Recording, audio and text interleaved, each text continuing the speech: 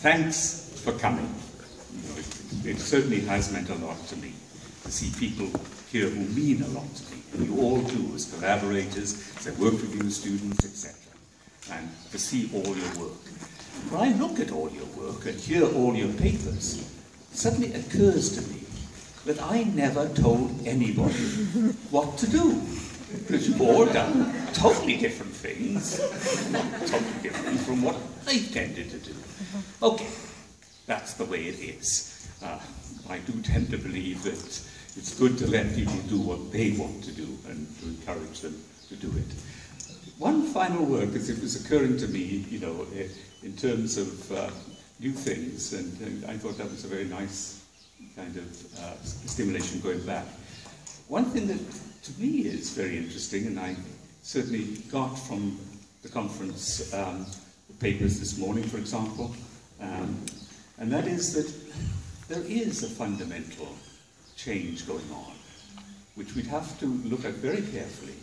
You know, when we're talking about the 50s and 60s, well, in the work we're doing on migration now, and early migrations in the 30s and 40s, you see it more clearly. You're talking about family economies.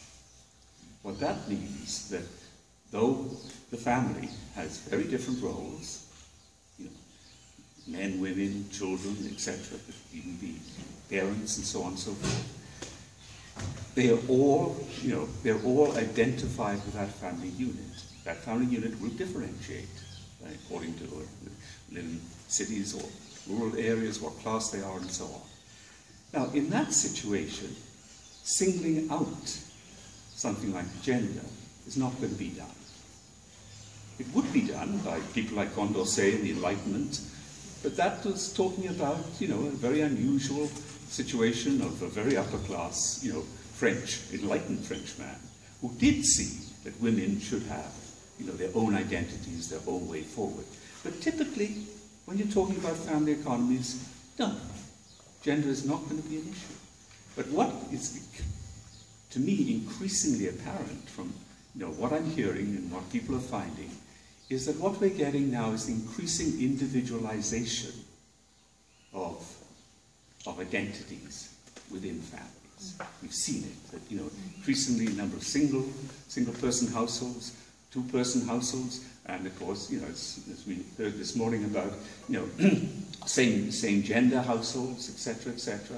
All of these, all implying that increasingly there is an atomization in relationships. Shouldn't exaggerate it, but still the family unit in defining the identity, uh, you know, and the class identity of a person, etc., disappears.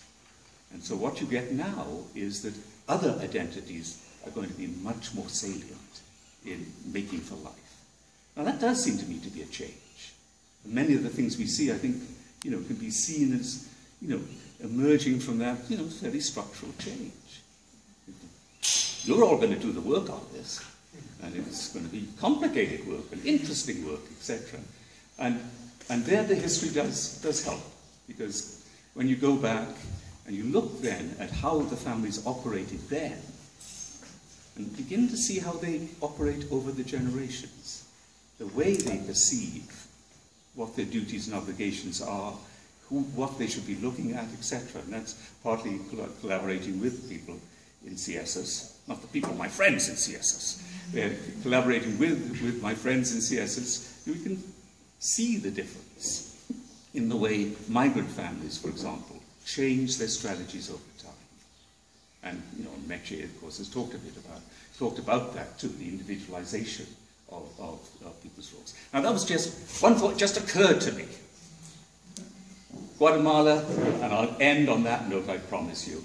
Uh, yes, it's interesting, and I'm delighted to be part of Peter's project because I'm certainly learning a lot from that. Um, change. My book, Organizing Strangers, was finally, and that was my negligence, translated into Spanish. And they gave it a book reading um, about a, just over a year ago in Guatemala City. Now Guatemala, unlike the time I was working there, has actually some very competent social scientists, sociologists, planners, urbanists, etc., etc. And they, they did me the service of actually reading and commenting on the book in detail. And it was a backhanded compliment. Because the major message they said was, what we find, and it's amazing, is that nothing has changed. The way you analyze what, was going on in the neighborhoods in, in Guatemala City is exactly what's going on today.